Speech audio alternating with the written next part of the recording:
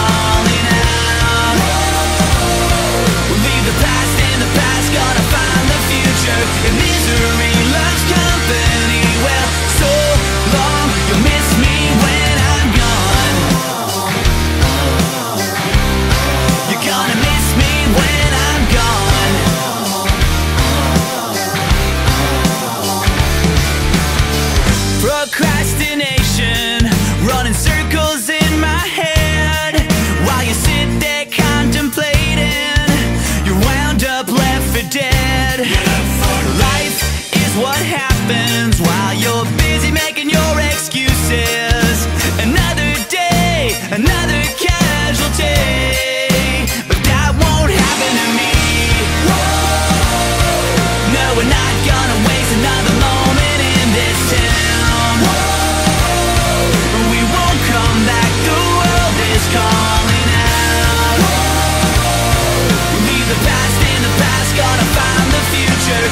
misery loves company where